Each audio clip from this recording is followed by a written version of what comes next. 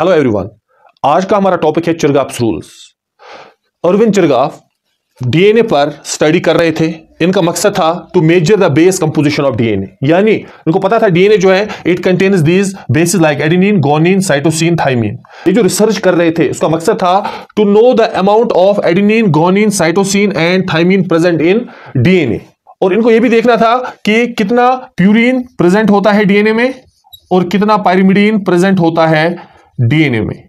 तो ये सारी चीज़ें इनको मेजर करनी थी।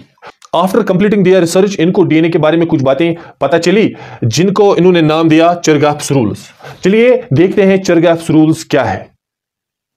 रूल नंबर वन क्या कहता है रूल नंबर वन कि किसी भी डीएनए के सैंपल में या डीएनए मॉलिक्यूल में amount of purine is always equal to amount of pyrimidine यानी जितना प्यूरिन एक डीएनए मॉलिक्यूल या डीएनए सैंपल में होता है, उसमें उतना ही पायरिमिडीन होता है। तो यहाँ पर इसको हम ऐसे भी लिख सकते हैं एडिनिन प्लस गोनिन जो कि दोनों प्यूरिन होते हैं, ये बराबर होते हैं cytosine plus thymine so the concentration of and pyrimidines is equal in DNA molecule or in a DNA sample, irrespective of the source from where the DNA sample is taken.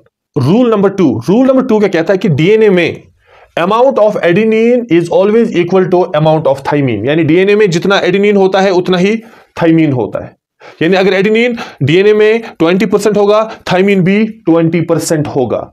अगर adenine 30 percent होगा तो thiamine भी 30 percent होगा। तो amount of adenine is always equal to amount of thymine in DNA इसी तरह से DNA में क्या होता है? Amount of guanine is always equal to amount of cytosine जैसा कि आप यहाँ पर देखिए, अगर हमारे पास ये एक डीएनए मॉलिक्यूल है अब देखेंगे एडिनिन कितने यहाँ पर? वन टू थ्री फोर और थाइमिन देखिए कितने होने चाहिए? थाइमिन भी चार ही होने चाहिए। वन टू थ्री और फोर तो आपको याद रखना है तो डीएनए में जितना एडिनिन होता है, उतना ही थाइमिन होता है। इसी तरह से जितना गोनिन होता है, उतना ही साइटोसिन होता है। तो अगर एक डीएनए में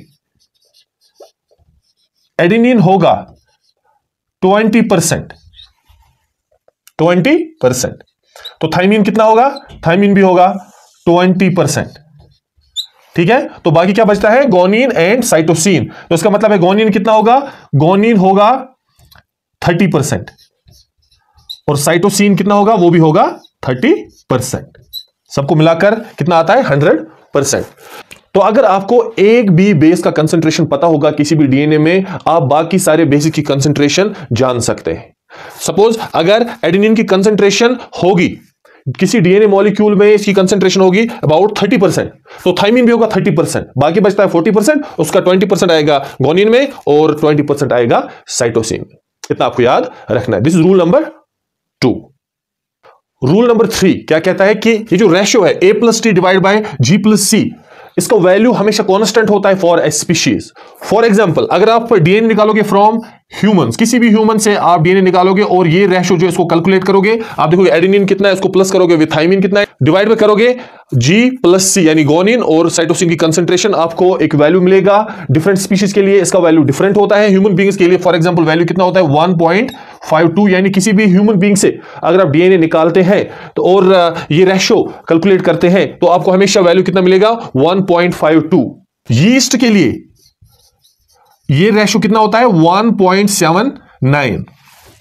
इसी तरह से इकोलाई बैक्टीरिया के लिए this ratio is how much exactly one so these are three rules collectively called as Chargaff's rules this is all for today thanks for watching